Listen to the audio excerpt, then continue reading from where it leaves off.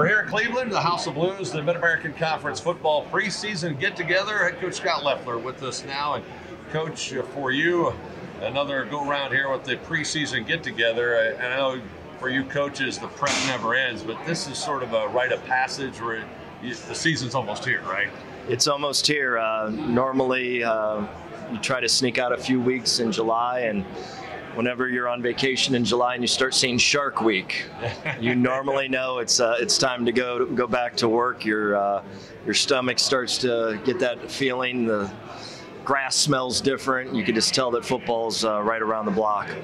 Speaking of different feel, you bring back a vast majority of your team from last year. That's got to be a, a, comforting thing for you and your staff that some of that ground you plowed in previous camps and previous seasons is now stuff you don't have to go over again, right? No question about it. It uh, this will be uh, our best football team since I've been here in regards to. Uh, we finally have got some older guys that are that are driving the locker room, which is huge. We've been a coach driven team here for the last three years, a total rebuild.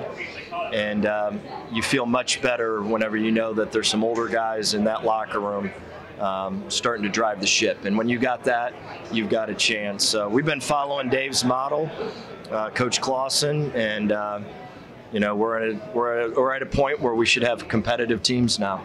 Another thing that can bring you comfort is that last year your defense showed a lot of moxie. They played very well for Coach Eric Lewis. A lot of those guys are back, and that's something at Bowling Green that, uh, frankly, we have not had for a while. a, a team that might start with defense. You know what? We're gonna we're gonna have a chance to have a really good defensive team. Uh, when we came in, uh, we have some old school values here, and uh, it was to build the defense. That was our number one priority, and um, I think we've done a great job recruiting the D linemen. I think we're uh, very good up front.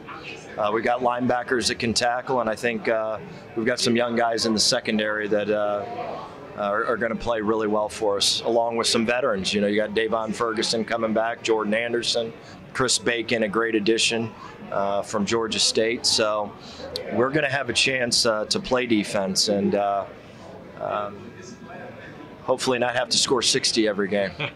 well, with that in mind, offensively last year, you showed improvement in every real statistical measure, but the offensive line was a unit we talked about a lot last year guys playing before really it's their time with their physical maturity.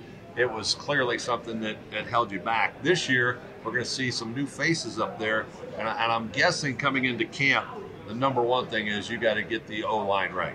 No question about it. It's been the number one priority. We had the ability, we, we sat in a staff meeting last year and uh, discussed are we going to go down the transfer portal? And we didn't. Uh, the reason that we didn't is we felt that we needed another class of four-hour radius guys to build our culture. Uh, so we made a decision knowing that we were going to take our lumps last year, but for the longevity of the program and to get the program moving in the right direction, we didn't go down the transfer portal. So we knew that it was going to be tough sledding up front, and it was. And uh, now we've got those guys that have played last year that got some experience. They're bigger, stronger, but we've added a ton of additions on the offensive line that are older that can continue to let these younger guys develop so we can keep this thing going up front and finally have a uh, really good front on both sides of the ball.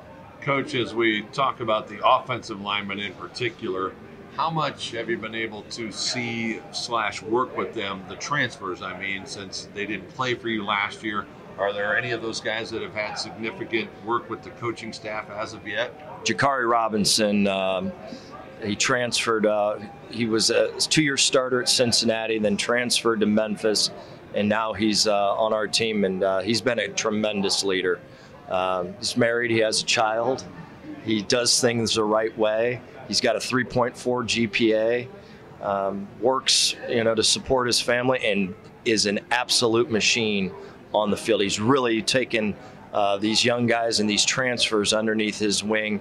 He's been extremely mature, and um, he's a good football player. And it doesn't hurt that he's he's a 600 pound bencher and almost a 700 pound squatter. Those things help. Those things are making those things better. help. Yes, no they question do. About it. So as we look at camp overall for your team, for your coaching staff now, what are what are some of the goals that you're you've laid out for camp to make sure this team is ready as they can be when you go to Los Angeles? Well, number one, uh, consistency. Um, we were an up and down organization last year, and when you're an up and down organization that's a coach driven driven team, uh, you're going to beat Minnesota, and then you're going to lose the next week to someone that you shouldn't.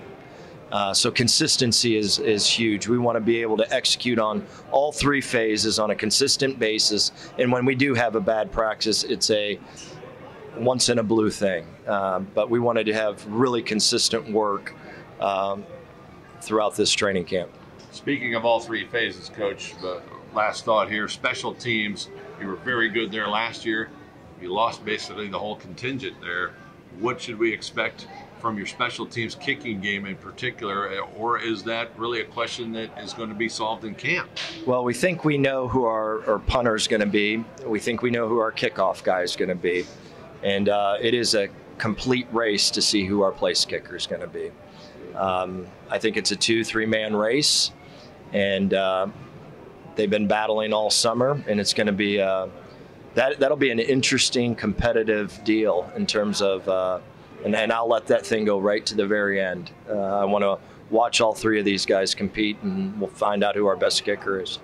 A lot of things to do as the season approaches, and uh, we also uh, want to reach out and ah Got a question from the gallery, from the fans. Uh, what should we expect to see? Do you have a, I guess, a baseline expectation? I don't know if we want to put a, a win number on it or a certain metric on it.